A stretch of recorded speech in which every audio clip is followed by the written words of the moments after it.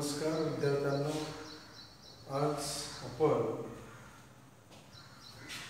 amplitude of the result wave produce due to superposition of two wave कालच्या लेक्चरला आपण पाहिलं की principle of superposition of wave म्हणजे जर दोन वेव एकत्र आल्या तर त्या ठिकाणी इंटरफरन्स घडून येतो. जर दोन वेवचं ॲम्प्लिट्यूड सारखं असेल आणि फेज सारखा असेल तर त्या ठिकाणी रिझल्टंट ॲम्प्लिट्यूड वाढतं डिस्प्लेसमेंट वाढते. आणि आपण त्याला कन्स्ट्रक्टिव्ह इंटरफरन्स असं म्हणतो. आणि इक्वल ॲम्प्लिट्यूड इक्वल ॲम्प्लिट्यूड असेल आणि डिफरंट फेज असेल तर त्या ठिकाणी ॲम्प्लिट्यूड कमी होतं झिरो डिस्प्लेसमेंट झिरो होते. आणि त्याला आपण डिस्ट्रक्टिव्ह इंटरफरन्स असं म्हणतो. समजा आपण अशी वेगळी कन्सिडर कंडिशन घेतली की जर consider two waves having same frequency but different amplitude जर फ्रिक्वेन्सी सारखी आहे दोन वेव्हची परंतु ॲम्प्लिट्यूड जर वेगळं असेल तर आणि त्या दोन वेव्हमधला फेज डिफरन्स फाय असेल तर रिझल्टंट ॲम्प्लिट्यूड किती असणार आहे? त्याचं आपल्याला डेरिवेशन शोधायचं आहे पा म्हणजे we consider consider two waves having same frequency but different amplitude say A1 and A2 काय कन्सिडर करू आपण सुरुवातीला की ज्या दोन वेव्स विचारात घेणार आहोत आपण त्या दोन वेव्हची फ्रिक्वेन्सी सारखी असेल परंतु त्याचं ॲम्प्लिट्यूड वेगळं असेल. ए वन आणि ए टू पहिल्या वेव्हचं ॲम्प्लिट्यूड ए वन दुसऱ्याचं amplitude A two and phi is the phase difference between these two waves.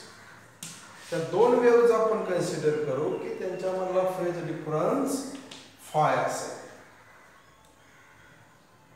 तर त्या दोन वेव्ह त्यांचं सुपरपोजिशन झाल्यानंतर त्या एकत्र आल्यानंतर रिझल्टंट अँप्लिट्यूड किती असणार आहे ते आपल्याला काढायचं मग we consider two waves the displacement along x axis is suppose zero x is equal to zero then the first wave y one is equal to a one sine phi the first wave काय मग five परंतु five इथं wave rotate होईल म्हणजे त्यापेक्षा आपण काय घेऊ इथं omega T where omega is angular frequency.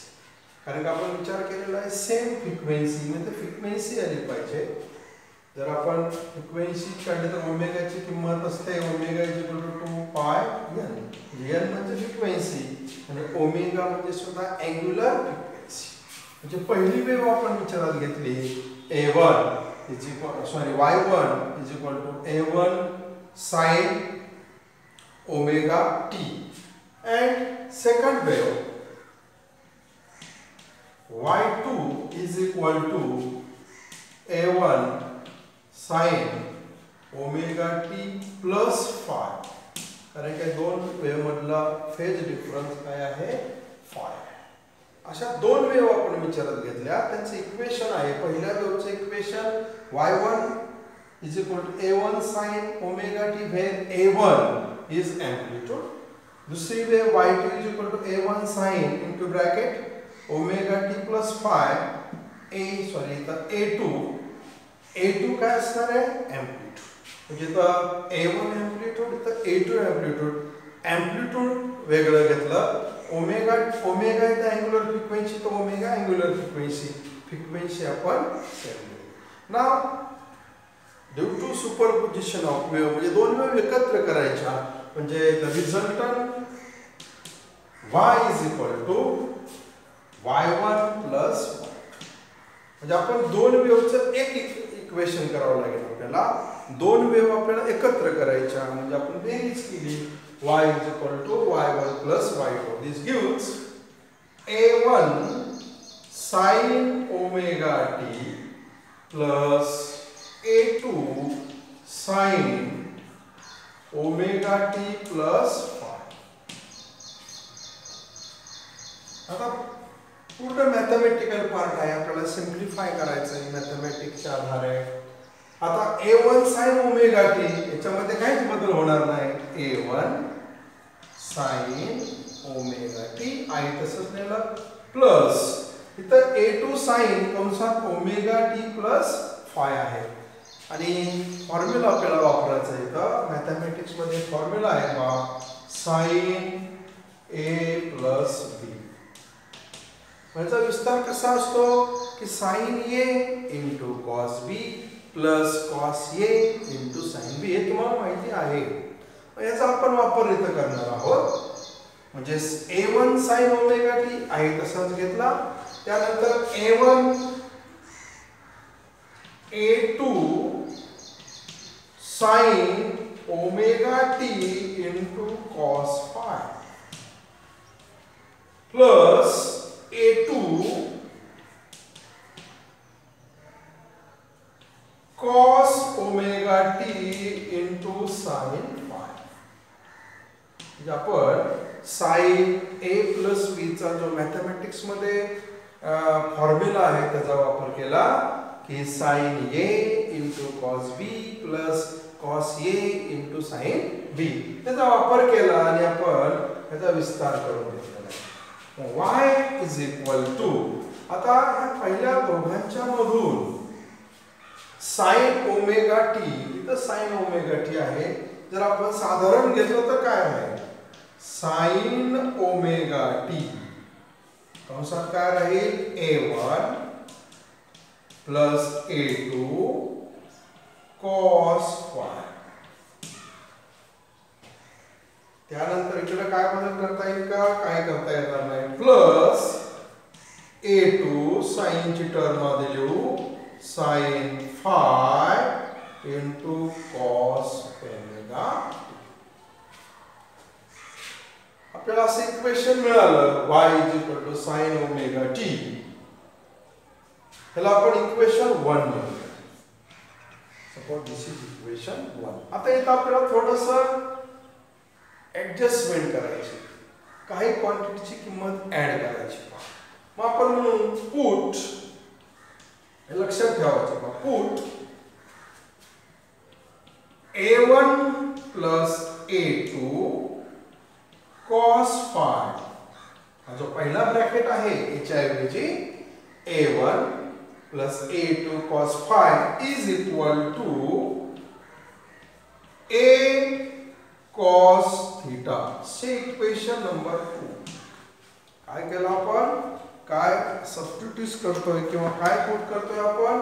हा जो पहिला ब्रॅकेट आहे A one plus A two cos फायच्या ऐवजी काय लिहिलं आपण? ए कॉस थिटा सिमिलरली आणखी एक पुटिंग करायचं आपल्याला इथं. A two sine phi A two sine phi च्या ऐवजी आपल्याला लिहायचं आहे A sine theta say equation number तीन काय आपण equation one sorry equation two आणि इक्वेशन थ्री आपल्याला कसं मिळालंय की या दोघांच्या ह्याच्या ऐवजी हे लिहायचं आहे आणि ह्या टर्मच्या ऐवजी हे लिहायचं ह्या दोन्ही इक्वेशन दोन आणि इक्वेशन तीन जर आपण इक्वेशन दोन मध्ये ठेवलं तर आपल्याला काय मिळेल पहा?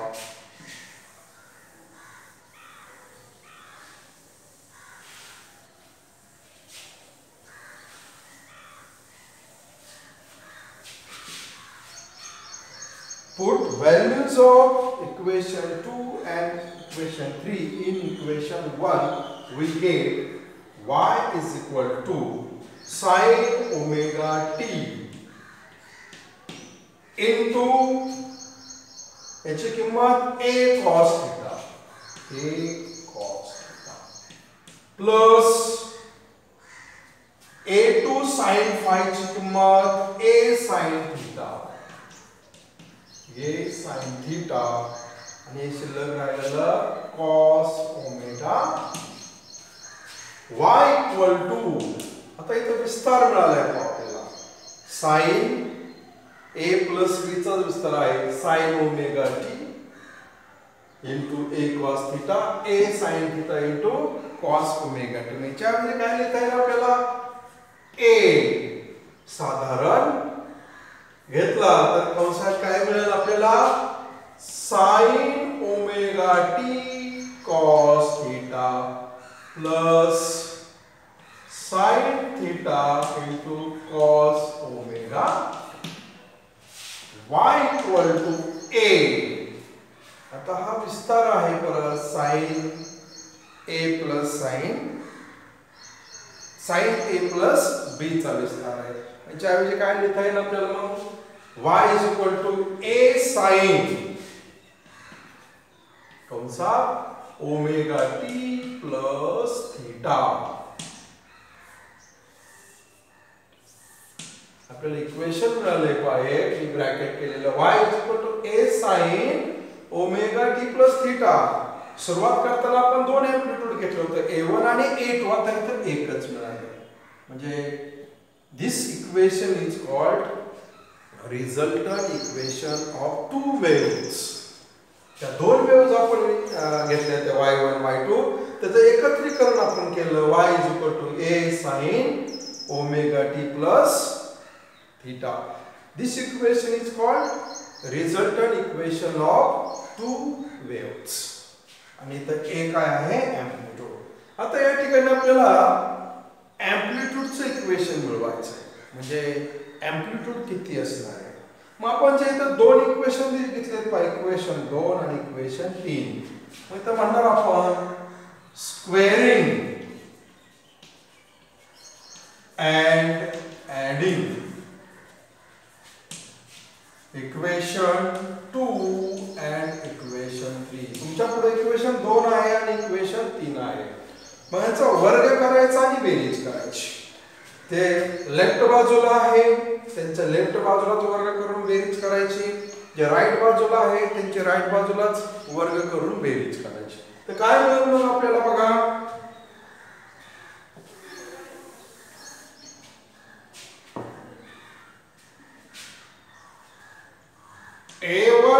Plus a two cos phi चा वर्ग प्लस ह्याची बाजू ही आहे म्हणजे a2 चा वर्ग साइन स्क्वेअर फाय काय केलं आपण आता? जे लेफ्ट बाजूचं मटेरियल आहे इक्वेशन आहे त्याचा वर्ग केला आणि बेरीज केली. त्याच कन्सेप्ट राईट बाजूला वापरायचा. A square cos square theta plus a square sin square theta. अशा प्रकारे आपण या दोन इक्वेशनची वर्ग केला आणि बेरीज केली. तर काय मिळेल बघा आपल्याला आता? या ठिकाणी आपण याचा विस्तार करू शकतो. ए अधिक बीचा वर्ग त्या पद्धतीने. काय होईल इथं? ए स्क्वेअर म्हणजे a one square plus two a b म्हणजे two a one a two cos phi plus b square म्हणजे a two square cos square phi. आणि राहिलेली टर्म कुठले आहे? Plus a two square sine square phi equal to. आता ह्या साईडमध्ये काय दिसते आपल्याला? ए स्क्वेअर साधारण घेतला. तर कंसात काय राहिला? Cos square theta plus sines square theta आणि मॅथमॅटिक्समध्ये आयडेंटिटी आहे पा सायन्स स्क्वेअर थीटा आणि कॉस स्क्वेअर थिटाची किंमत वन येते. म्हणजे this is equal to one म्हणजे ह्या बाजूला फक्त ए स्क्वेअर राहिला. आणि आपण त्याचीच किंमत काढायची. A square is equal to आता ह्या ठिकाणी काय करता येईल बघा आपल्याला? या शेवटच्या दोन टर्म मधून आपण ए टू स्क्वेअर कॉमन घेऊ शकतो. म्हणजे काय आहे बाबा? A one square plus two a one a two cos phi plus a two square कंसात काय आहे cos square phi plus sine square परत इथं कॉस स्क्वेअर थिटा आणि साइन स्क्वेअर थिटा इथं. थिटाच्या ऐवजी फाय म्हणजे हा ब्रॅकेटची किंमत परत किती येईल वन येईल therefore the resultant amplitude of two wave is a is a square is equal to a1 square plus आता आपण हे अगोदर लिहूया a2 square plus राहिलेला भाग 2a1 a2 cos phi or finally a is equal to under root a1 square plus a2 square plus 2a1 a2 cos phi. Phi अशा प्रकारे आपल्याला दोन वेव्ह जर आपण एकत्र केल्या आणि त्यांचं जर अँप्लिट्यूड वेगवेगळं असेल ए वन आणि ए टू सुपरपोजिशन झाल्यानंतर रिझल्टंट अँप्लिट्यूड आपल्याला मिळणार आहे. A is equal to under root a one square plus a two square plus two a one a two cos phi where a one हे पहिल्या वेव्हचं amplitude A to दुसऱ्या वेव्हचं amplitude आणि five हा दोन wave मधला फेज डिफरन्स आहे किंवा phase angle आहे. हे झालं this is called the resultant amplitude of two waves cases आपल्याला पाहिजेत पहा now case first if phi is equal to zero जर हा फाय आहे त्याची किंमत झिरो असेल. दॅट इज याचा अर्थ काय? Two waves in the phase जर फायचा किंमत झिरो असणार आहे म्हणजे त्याचा फेज डिफरन्स शून्य असणार आहे. त्याला आपण इन द फेज म्हणू. म्हणजे दोन्ही वेव्स काय असणार आहे?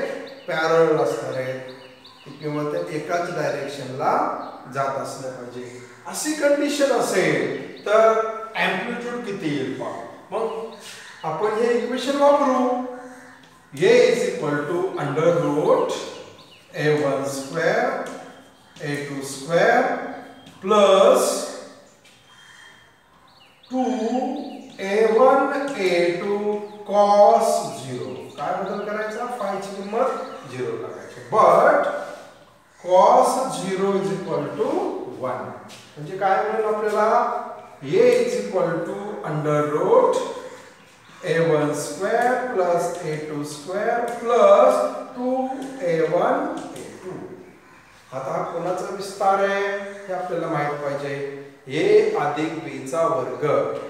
ए अधिक बीचा वर्ग किती आहे? ए अधिक बीचा वर्ग काय असतो? ए वर्ग अधिक दोन ए बी अधिक बी वर्ग. म्हणजे इथं आता ए वनच्या फॉर्ममध्ये आहे. म्हणजेच ह्या फॉर्ममध्ये आहे. त्याच्याऐवजी आपण हा फॉर्म लिहू शकतो. म्हणजेच a is equal to under root a one plus a two कंसाचा वर्ग. म्हणजे काय वर्गमुळात? A one plus a two चा वर्ग. म्हणजेच इथं आपल्याला काय मिळणार आहे? जसं आपल्याकडे इक्वेशन असतं. X square under root x square is equal to x मिळतं. त्यात म्हणजेच आपल्याला इथं मिळेल. A is is equal to a1 plus a2 resultant amplitude काय मिळालं आपल्याला? A1 प्लस a2 म्हणजे इथं दोन अँप्लिट्यूडची बेरीज झाली. म्हणजे काय मिळालं? The amplitude the amplitude is maximum. जर दोन वेव्स इन द फेजमध्ये असतील किंवा त्यांचा फेज डिफरन्स फाय असेल phi is equal to zero असेल तर त्या ठिकाणी दोन वेव्हच्या अँप्लिट्यूडची बेरीज होते आणि अँप्लिट्यूड मॅक्झिमम होतं डिस्प्लेसमेंट मॅक्झिमम होतं आणि आपण त्याला कन्स्ट्रक्टिव्ह इंटरफरन्स असं म्हणतो. म्हणजे त्या ठिकाणी काय मिळालं? केस वनमध्ये आपल्याला जर फेज अँगल त्या दोन वेव्ह मधला शून्य असेल तर त्या ठिकाणी आपल्याला मॅक्झिमम अँप्लिट्यूड मिळतं. किती? A is equal to a one plus a two त्या दोन वेव्हच्या अँप्लिट्यूडची बेरीज होते. समजा आपण याच्यामध्येच आणखी दुसरा विचार केला की जर ही सेम कंडिशन असेल अशीच आणि जर अँप्लिट्यूड दोन्ही वेव्हचं सारखं असेल. म्हणजे एक amplitude of both the wave is same. That is a1 is equal to a2 is equal to a. जर दोन्ही वेव्हचं एम्प्लिट्यूड सारखंच असेल तर काय मिळेल मग? A is equal to a one ची किंमत ए प्लस ए टू ची किंमत ए म्हणजे काय मिळेल आपल्याला? टू ए अँप्लिट्यूड काय मिळालं? टू ए म्हणजे जरी दोन्ही वेव्हचं अँप्लिट्यूड डिफरंट असेल तरी या ठिकाणी रिझल्टंट अँप्लिट्यूड वाढत आहे आणि सेम अँप्लिट्यूड असेल तरी रिझल्टंट अँप्लिट्यूड टू ए म्हणजे वाढत आहे म्हणजे सेम अँप्लिट्यूड असेल डिफरंट अँप्लिट्यूड असेल तरी आपल्याला रिझल्टंट अँप्लिट्यूड इथं वाढलेलं दिसतं. कधी? जर दोन वेव्स इन द फेजमध्ये असतील किंवा त्यांचा phase difference phi is equal to zero असेल. नाव सेकंड केस दुसरी केसचा आपण विचार करूया.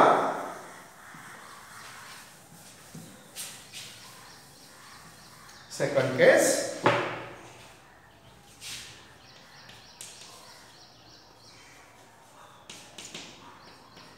Case second, if phi is equal to pi or 180 जर फेज डिफरन्स फाय रेडियन असेल किंवा वन एटी डिग्री असेल दॅट इज याचा अर्थ काय? That is two wave out of phase त्या कशा आहेत एकामेकीला विरुद्ध आहे. त्यांचा फेज अँगल किती? एकशे ऐंशी किंवा पाय रेडियन असेल. असं असेल तर त्याचं अँप्लिट्यूड किती? Therefore a is equal to under root square plus a2 square plus 2a1 a2 cos pi or cos 180 आपल्याला माहिती cos pi or cos 180 is equal to minus 1 cos pi ची किंमत असते minus 1 किंवा cos 180 ची किंमत सुद्धा minus 1 असते therefore a is equal to under root a1 square a2 square cos pi ची किंमत minus 1 इथं अटॅच होईल minus 2 a1 हा विस्तार मिळाला आपल्याला कोणाचा विस्तार आहे हा a वजा b चा वर्ग काय असतो a वर्ग वजा 2ab वजा b वर्ग अधिक b वर्ग तोच कन्सेप्ट इथं वापरायचा आपल्याला मग a is equal to under root a1 minus a2 चा याची प्लस होता आता मायनस आला. याचा अर्थ ए इज इक्वल टू आपल्याला मिळत ए वन मायनस जर दुसऱ्या वेळचं अँप्लिट्यूड जास्त असेल तर आपण त्याला मॉड टाकतो. मॉड्युलेशनच्या बाहेर गेलं काय होईल? प्लस हे लिहिलं तरी चालेल नाही लिहिलं तरी चालेल. ए is equal to मॉडमध्ये a one minus a two का? तर ए टू जर ए टू चे अँप्लिट्यूड जास्त असेल तर ए टू मायनस मग ए वन करावं लागेल म्हणून. A is equal to a one minus a two म्हणजे या ठिकाणी काय घडलं? जर त्यांचा फेज डिफरन्स पाय असेल म्हणजे आउट ऑफ फेज असतील दोन वेव्स तर रिझल्टंट अँप्लिट्यूड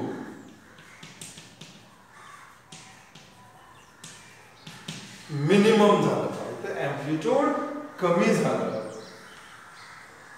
म्हणजे जर दोन वेव्स आउट ऑफ फेज असतील phase difference phi is equal to pi किंवा एकशे ऐंशी डिग्री असेल तर मात्र त्या ठिकाणी अँप्लिट्यूड कमी असतं. आणि दुसरी कंडिशन आपण घेऊया.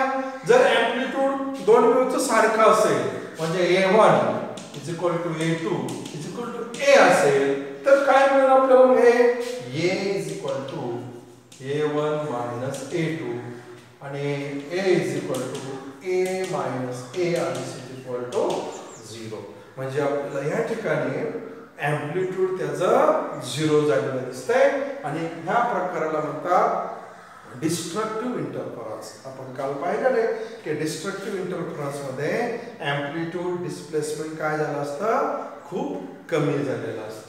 म्हणजे अशा प्रकारे आपण केस वन आणि केस टू मध्ये पाहिलं तर त्याची फ्रिक्वेन्सी सारखी असेल ॲम्प्लिट्यूड वेगळं असेल तर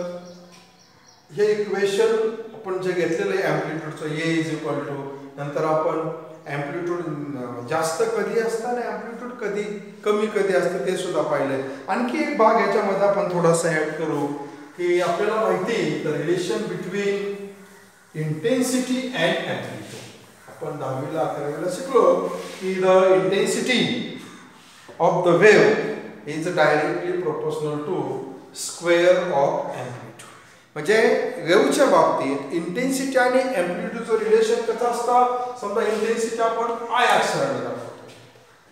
I is directly proportional to a square हे आहे इंटेन्सिटी आणि एम्प्लिट्यूडचं रिलेशन मग आपल्या केसमध्ये समजा नंबर एक म्हणू आपण किंवा ए म्हणू तर मॅक्झिमम इंटेन्सिटी आणि मॅक्झिमम मिनिमम इंटेन्सिटीचा रेशो कसा?